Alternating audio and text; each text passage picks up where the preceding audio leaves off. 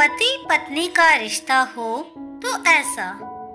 एक कॉलोनी में एक पार्टी का आयोजन हुआ, जिसमें कॉलोनी के सभी शादीशुदा जोड़ों को बुलाया गया।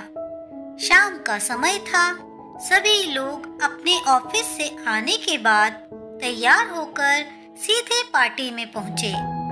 सभी एक दूसरे से मिले, शाम का खाना भी वहीं खाया।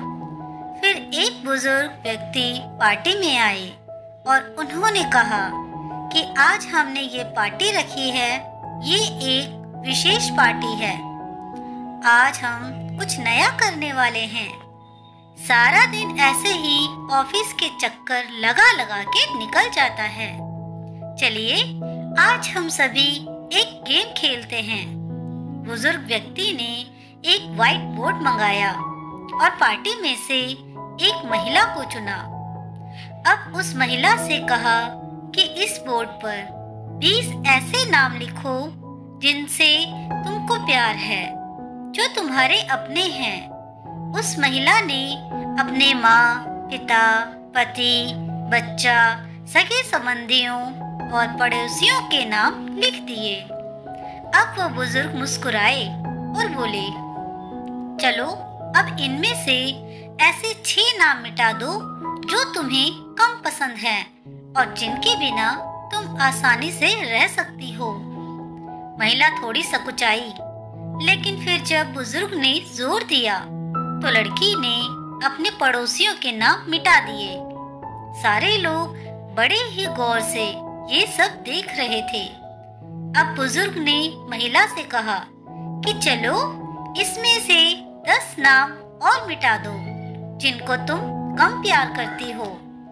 महिला ने फिर अपने सगे संबंधियों के नाम मिटा दिए। अब बोर्ड पर केवल चार नाम बचे हुए थे, माँ, पिता, पति और बच्चा। सारे लोग दिल थाम के बैठे हुए थे कि तभी बुज़ुर्ग ने फिर से विनती की कि बेटी, इनमें से दो नाम और मिटा दो। अब वो महिला बड़ी ही दुविधा में फंस गई।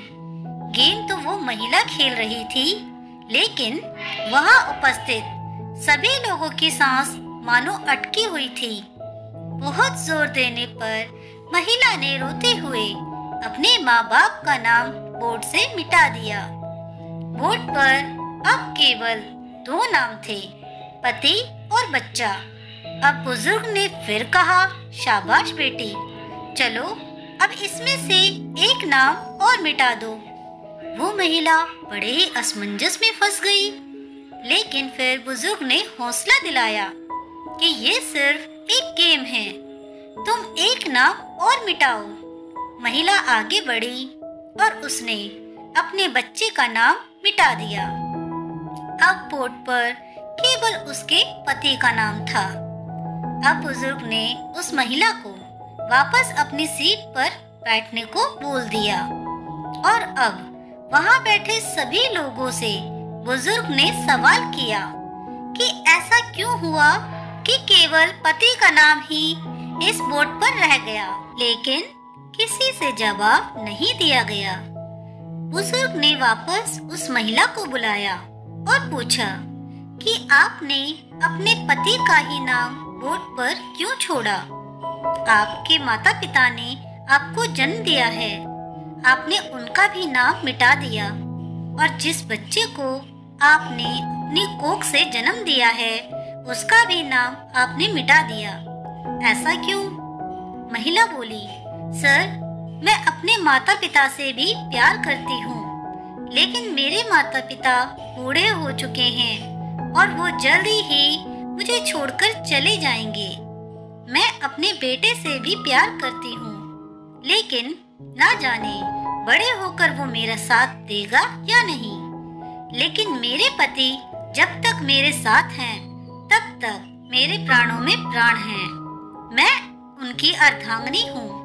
वो मेरा आधा शरीर बनकर मेरा साथ देंगे और जीवन भर मेरा हर सुख दुख में साथ देंगे। इसलिए मुझे मेरे पति सबसे अधिक प्रिय हैं। महिला की बात सुनकर सारा माहौल तालियों की गड़गड़ाहट से गूंजने लगा। सभी लोग उस महिला के विचारों की प्रशंसा कर रहे थे। तब बुज़ुर्ग व्यक्ति ने कहा, ये तो हमने आज गेम खेला है। चलिए गेम की मस्ती अपनी जगह है। लेकिन इस गेम में आपके जीवन की सच्चाई छिपी है। पति और पत्नी एक दूसरे का आधा शरीर होते हैं और एक दूसरे के बिना जीवन बहुत दुष्कर है इसलिए सभी पति पत्नियों को चाहिए कि एक दूसरे के प्रेम की इज़्ज़त करें और हर सुख दुख में एक दूसरे का साथ निभाएँ। तभी विवाह का असली अर्थ सार्थक होगा दोस्तों, आपको ये कहानी कैसी लगी? मुझे कमेंट करके ज़रूर बताएँ। अगर कहानी अच्छी लगी हो तो प्लीज़ इसे लाइक, शेयर और मेरे चैनल को सब्सक्राइब करना ना भूलें। कहानी सुनने के लिए आप सभी का बहुत बहुत